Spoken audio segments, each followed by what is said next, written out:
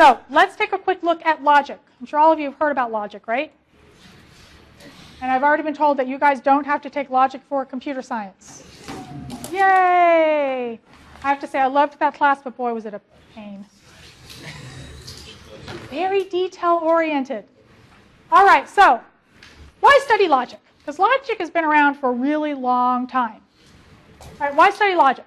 Well, a lot of basic ideas about representation and computation actually come from the study of logic, right? It's a, considered to be really central to the work on reasoning and what we know and understand about reasoning. And it has substantial representation power. So if you go through that explanatory pattern, it can really represent a lot of what's going on quite well. As I mentioned, it's old, right? Like 2,000 years old. Aristotle really liked logic. Right? So it's really been around quite for, for quite a period of time, for several millennia.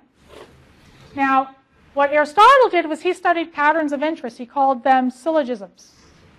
At least I'm close to pronouncing it correctly this time, I think. And so when we look at logic, what we're doing is we are looking at these patterns. So here's an example of logic. All students are overworked. Mary is a student, therefore Mary is overworked. It's logical, right? You can see where one goes to the next, and you put those together, and you have your conclusion.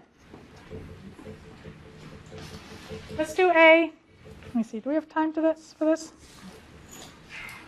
No, we actually don't. Okay, don't look at that. What we'll do is when we come back on Tuesday, I'm going to put you through a task so we can look at how logical logic is. All right, so have a great, great weekend.